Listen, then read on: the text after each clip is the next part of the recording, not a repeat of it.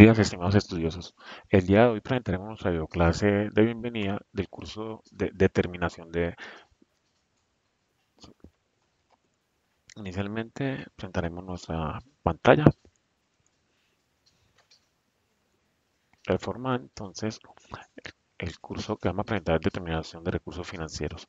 Eh, inicialmente miramos la diapositiva, miremos si hay algunos estudios en, en línea para poder presentar nuestra videoconferencia.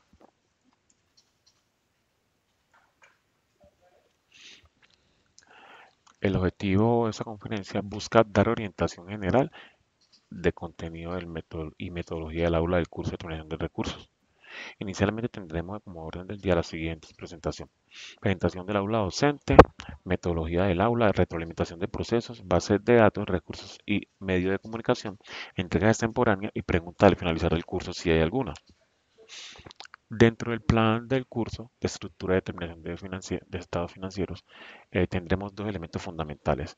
Uno que es la guía didáctica y otro que es el contenido de la asignatura, en el cual vamos a hablar referente a todo lo que es la guía didáctica y el contenido de la asignatura. A continuación presentaremos en nuestra plataforma Canvas para mirar cada uno de los parámetros y elementos importantes para poder desarrollar este curso.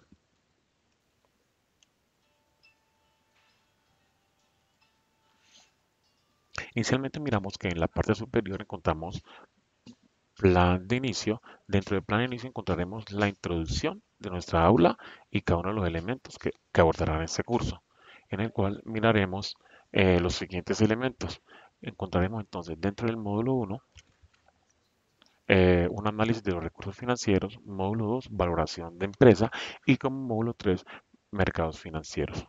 E inicialmente miraremos entonces en el módulo 1, cada uno de los elementos en el cual abordaremos. Encontramos entonces lo que es la guía didáctica. Dentro de la guía didáctica vamos a encontrar cómo navegar en Canvas, foros de presentación, el diseño curricular, competencia de la asignatura y plan de la formación. Y guía de normas APA y reglas básicas de etiqueta. Al igual encontraremos eh, en el módulo 1 como le había comentado, lo que es análisis de recursos financieros, módulo 2, eh, valoración de empresa y el módulo 3 es, hablaremos lo que es mercados financieros. En cada uno de estos elementos encontrarán el contenido de, y la actividad que vamos a evaluar. De tal forma encontraremos, estimados compañeros, eh, metodología del aula. Dentro de la metodología del aula encontraremos tres parámetros fundamentales. Eh, la revisión del material de estudio, actividades y medios de comunicación. Es importante tener en cuenta que antes de presentar las actividades deben de revisar todos los materiales de estudios.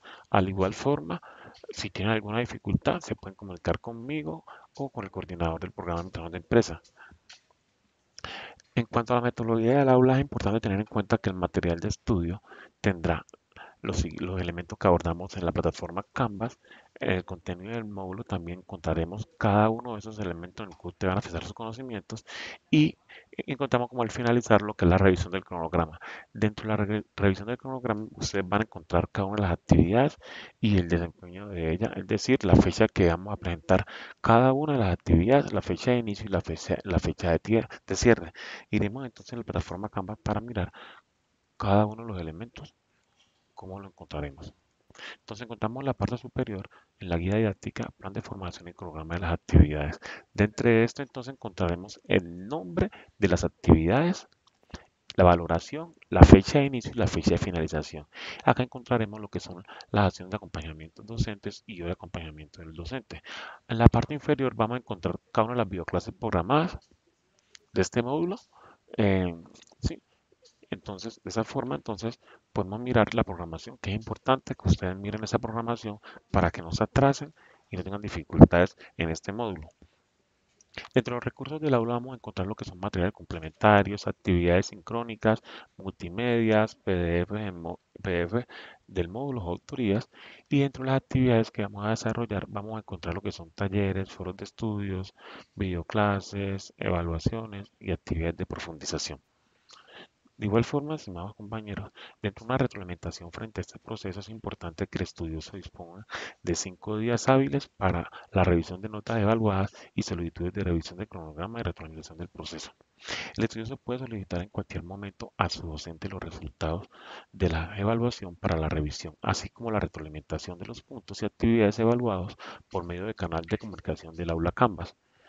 De tal forma, es importante que todas las actividades que vamos a entregar sean bajo el criterio de normas APA.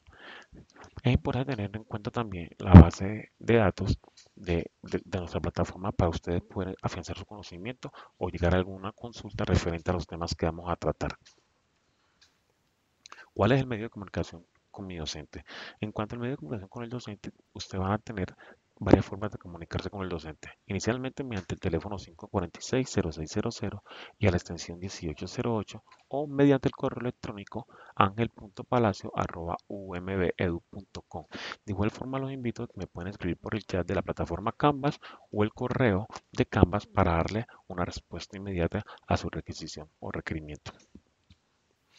En cuanto a la entrega extemporánea, es importante que sepan que los estudiosos, en caso que tengan una excusa justificada, pueden presentar alguna actividad extemporánea bajo el criterio de, obviamente, el coordinador, que, que esté autorizado por él y tenga una excusa válida. ¿ok? En ese orden de ideas, más estudiosos, eh, nos veremos ya en nuestra, en nuestra próxima videoclase y les deseo mucha suerte en esta actividad y en este módulo de determinación de recursos financieros. De tal forma nos veremos en una nueva oportunidad.